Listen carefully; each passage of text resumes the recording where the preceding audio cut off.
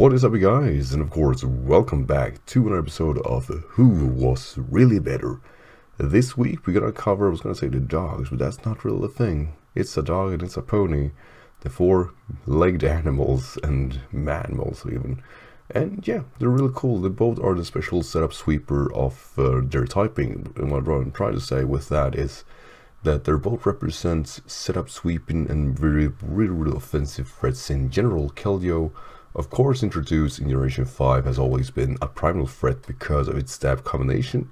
Suicune been a really solid Pokemon from first generation in 2 and then in generation 3 once it got access to Calm Mind became probably the bulkiest water type there is and has really have kept that stature. It's really a rare thing to see a Pokemon basically utilizing the same time of set for generations to go and it's still being very effective and Keldeo is much the same since it actually haven't necessarily built upon what it learned from the first generation it was introduced. So with that said, we're going to go over, of course, as always, their overarching theme, move pool, and what they really can do to find out which one of these two that really are better. And we're going to start off with the Pokemon introduced first, being Suicune. Now, what really stands out with Suicune is that, well, it's a Soul Water type, and it's actually probably the only typing where it's very, very much appreciated to just that because a very good defensive type with very few things to watch out for and the things you need to watch out for are very easy to predict to see when they come in. So resistance in water is of course as always fire ice, steel and water and only have weakness to the lights of electric and grass. So yeah, easy to see. Like you see a electric type coming in, you see a grass type coming in, you see which Pokemon that come in offensively to do such things and just overall Suicune is able to kind of deal with them properly. Stat-wise, Suicune is one of those Pokemons that you really just can't want it kill. Just look at the stat, you realize exactly what I mean by that. And yeah, I mean, look at it. We have now uh, 100 HP, which is very fair. We have 115 in both defenses.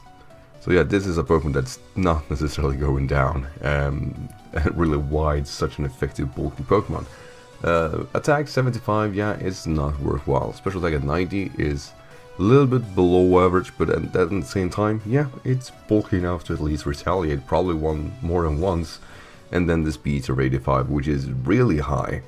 Whoever talked about Cresselia ones, I also said in the same video that being very bulky and speedy is quite a rare trait, and the combination is actually quite ferocious because it means that you can actually pressure your opponents really well because you are able to possibly outspeed them and just as Suicune really can, being defensively very checkable easily.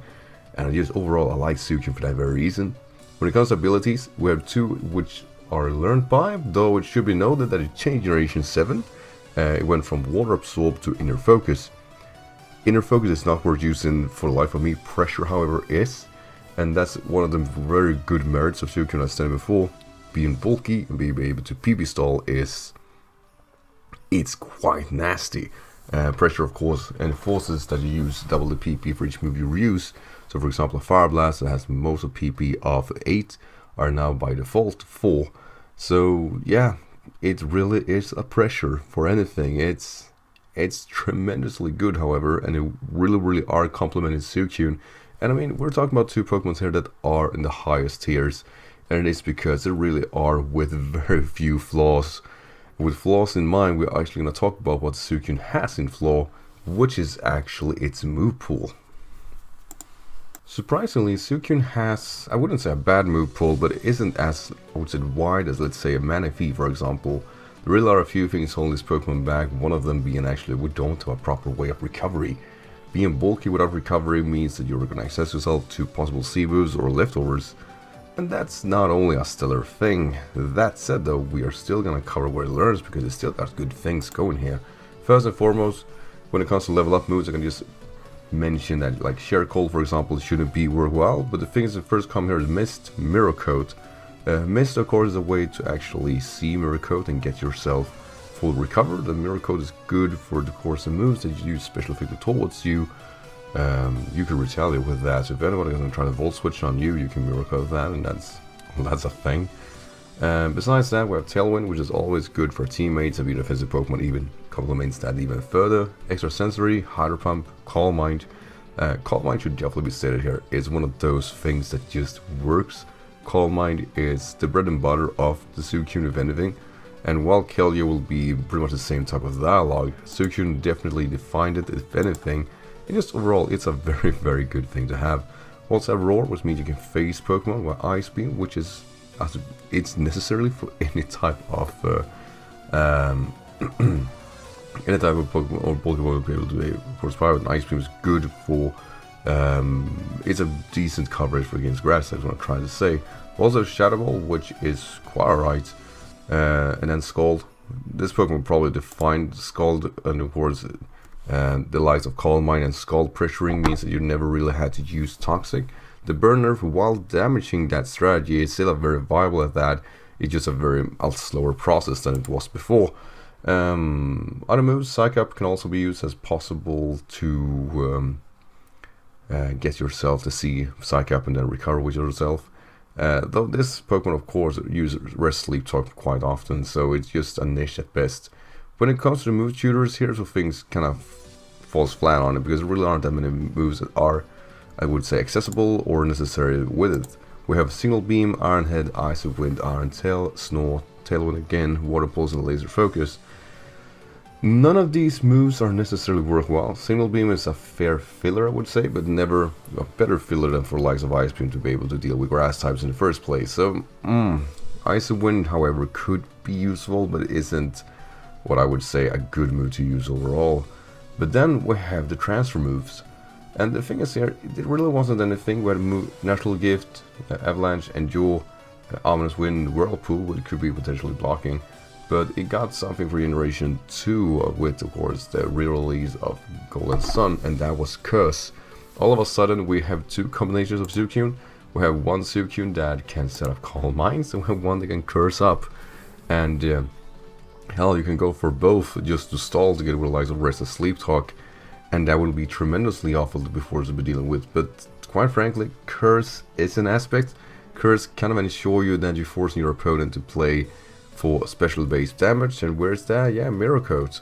So it actually works. Um, also, decent film with that is Waterfall, but quite frankly, anything will do from there. Um, but overall, what makes Suicune really, really interesting is that it has decent stab combination already.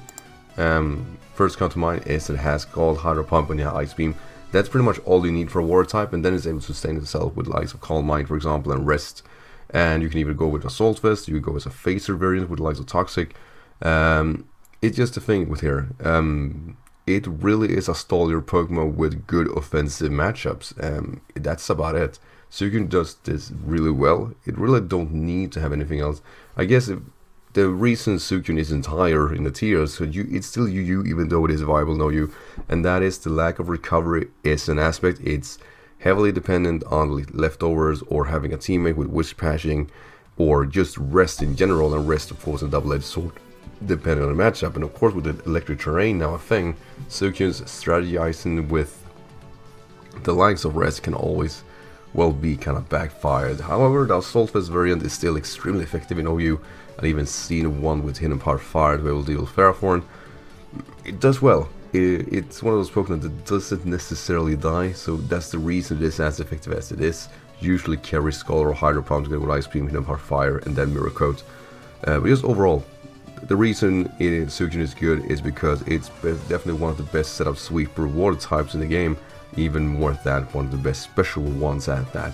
While this is as offensively capable as like Keldeo is, it is more than defensively able to pull off the same type of variation as Keldeo are doing. It is whether or not Keldeo does it better, and well, let's see if it actually can. So Keldeo is actually quite the interesting Pokemon, and it's mainly because of its stab combination.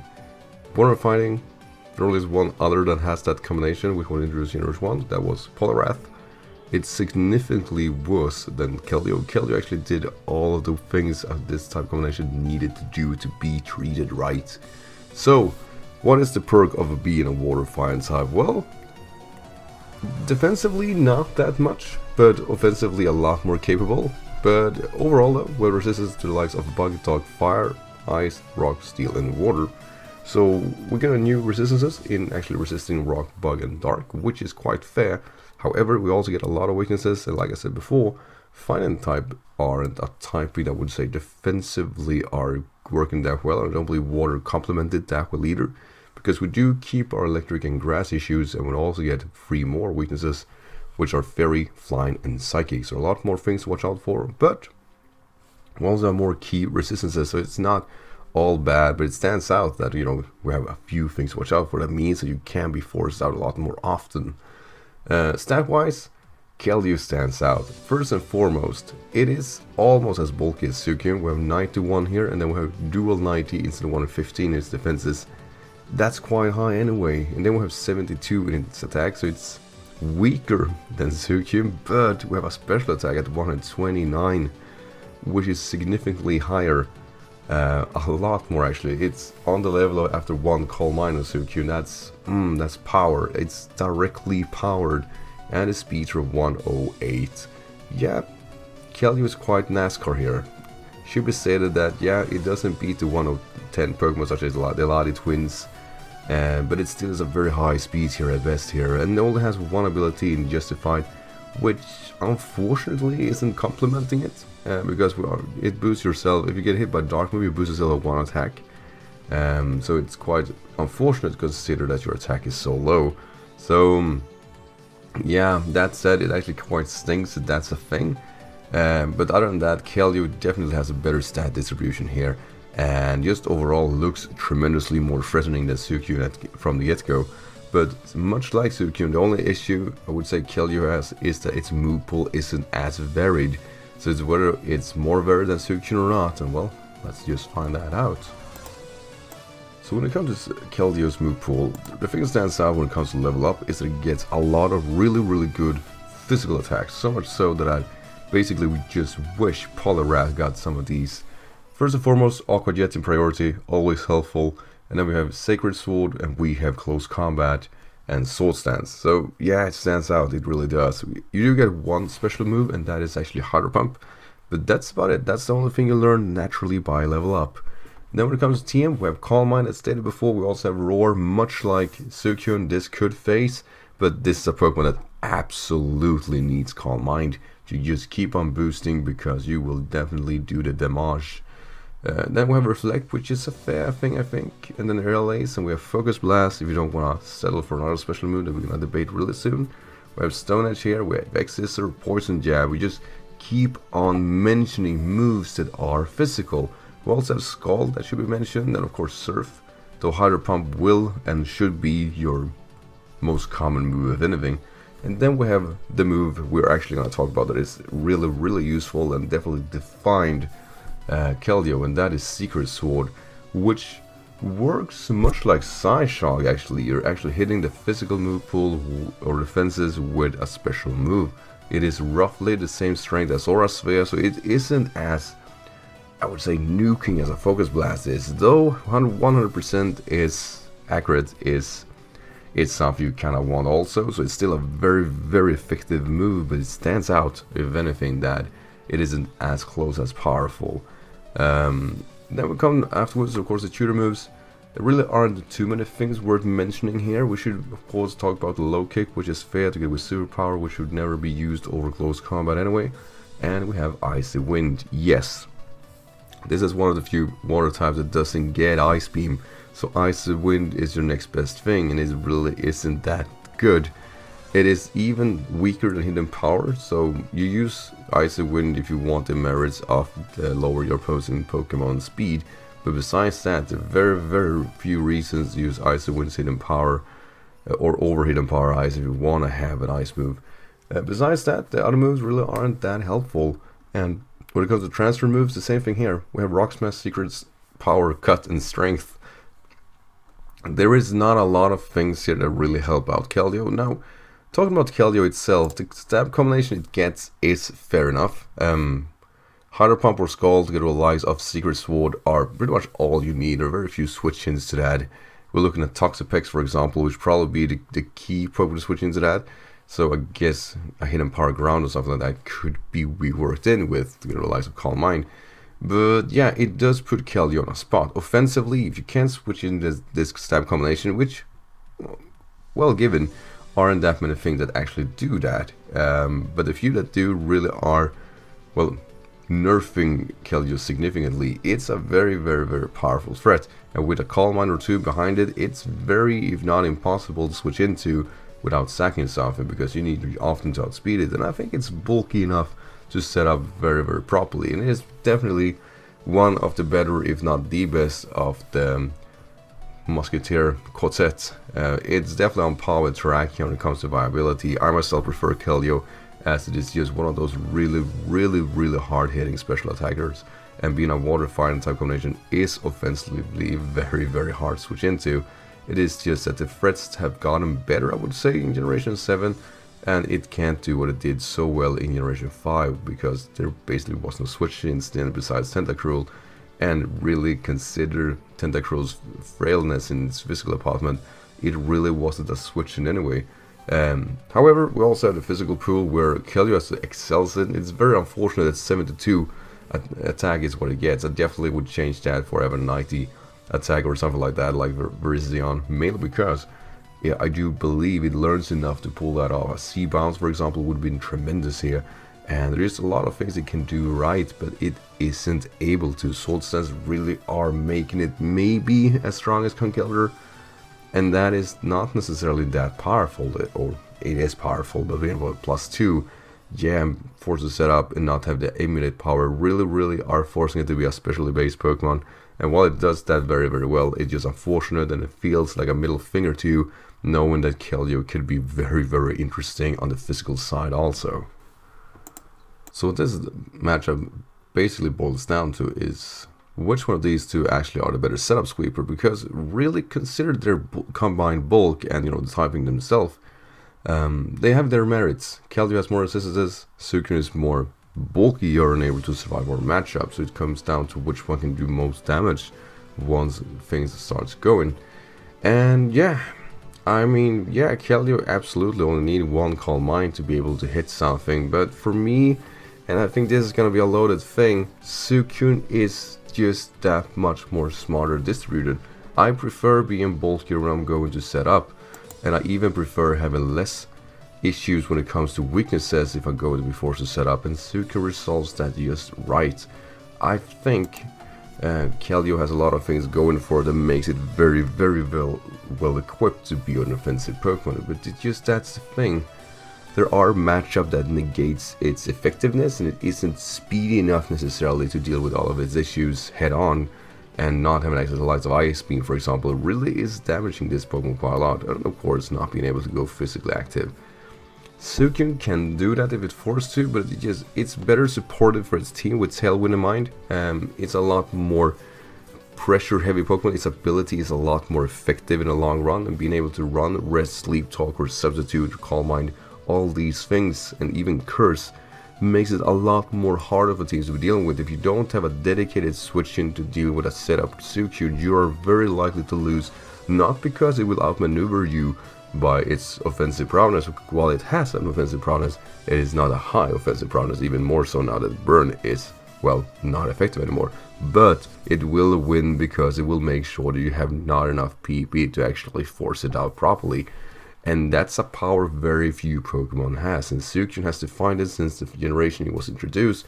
Generation 3 is where people started to have nightmares about this, and those very same nightmares are still active, but for different generations to experience. It really is a powerhouse on a Pokemon, and there are very few Pokemon that deals with this head on.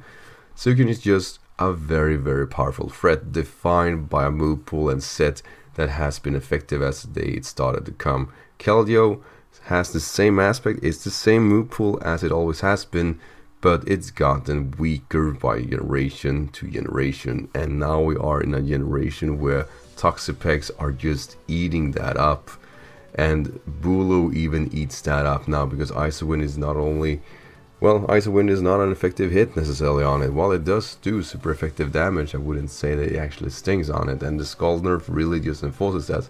Keldeo is, all things considered, more frail than Suicune and are more unlikely to set up due to more weaknesses. And that very same frailness is because it's speedy, and the speed isn't as good as it once was. So Keldeo just It's still one of the best setup sweepers in the tiers and in Pokemon format ever, and I really like Keldeo. If you don't have anything for it, it will ruin you, but I believe Suicune are more likely to ruin you than Keldeo are, even though Keldeo will do it quicker, faster and more assassinated. But yeah, for my money, Suicune is a superb Pokemon still here, and it is the reason it wins, because it is just working most of the time, while Keldeo will work some of the time. So with that said guys, what do you guys think about this matchup? I know I have a lot of, well, Keldeo fans that are following me, and you know, I can see both side argument. As I said, it's Suicune for me more effective more often. So really hope you guys enjoyed this episode, and of course join us next week for this matchup.